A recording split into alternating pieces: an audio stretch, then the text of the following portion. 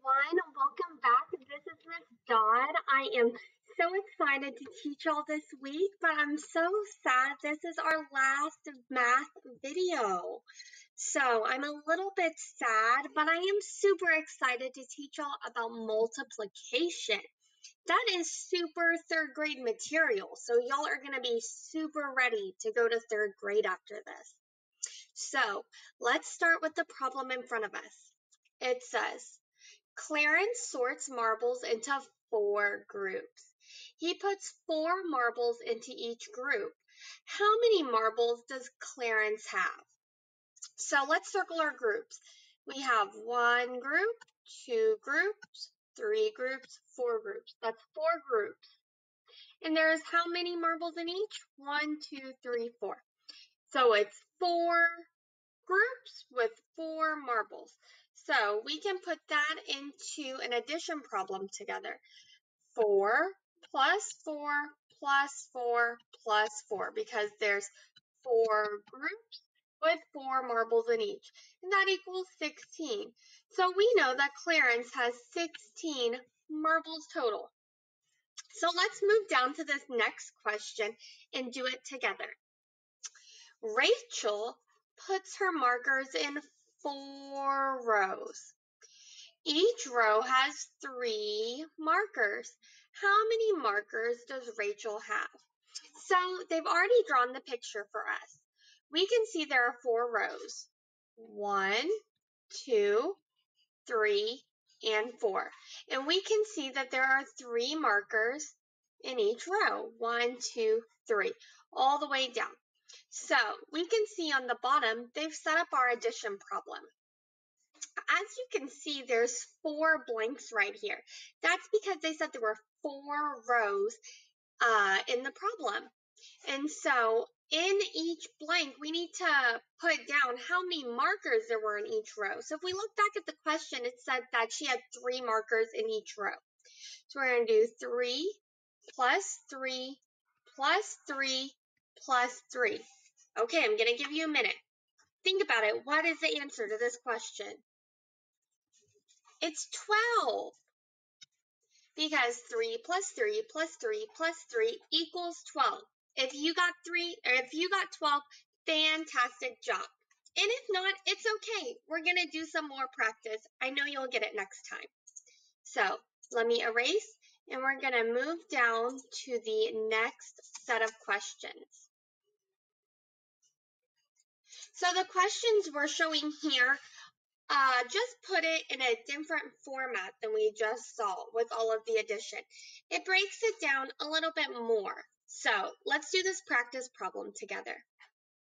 When you multiply, you add equal groups. Okay. When you multiply, you add equal groups. Let's think about that while we work on this problem. There are, it says three vases. We can see the vases right here. There's one vase, two vase, three vase. Now, let's look and see how many flowers there are in each. There's one, two, three, four. This one has one, two, three, four, and this one also has four flowers inside.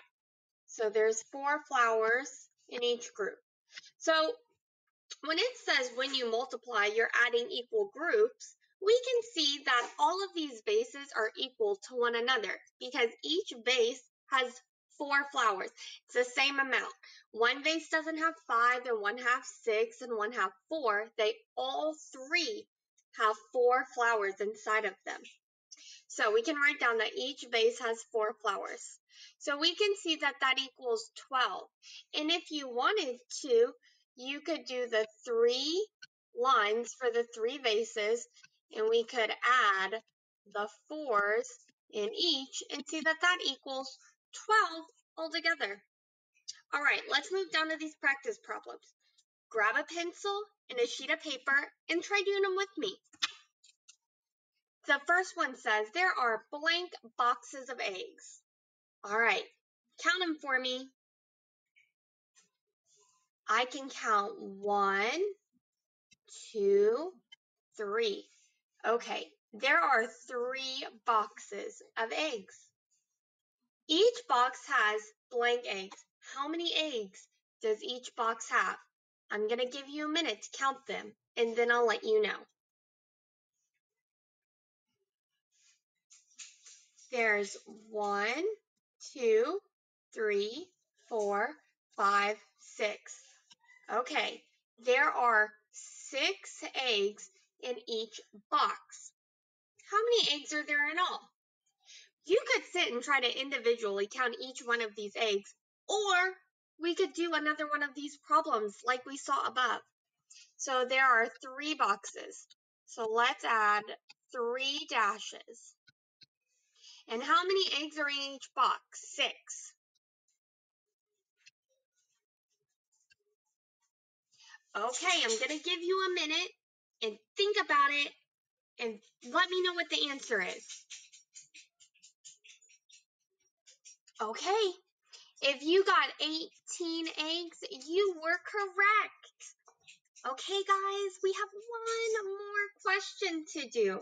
So let's read it together. There are blank baskets. All right, let's count them. One, two. There are two baskets. There are blank apples in each basket. I'm going to give you a minute. Count all the apples in each basket.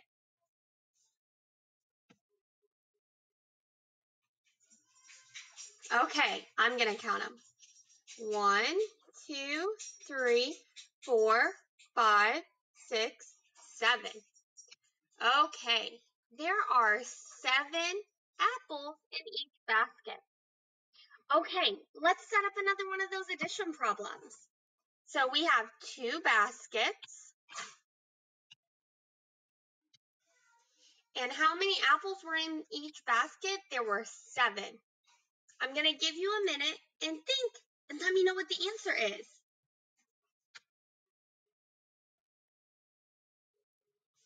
The answer you should have gotten is 14. There are 14 apples in all. Guys, I hope this video was super helpful to introduce you to what multiplication is like. And I hope this will help you in third grade. I'm so sad I don't get to do any more videos with y'all. And I am going to miss y'all so, so much next year. But I know you are going to do great in third grade. Y'all have a wonderful summer, and I will see you next year. Bye for now.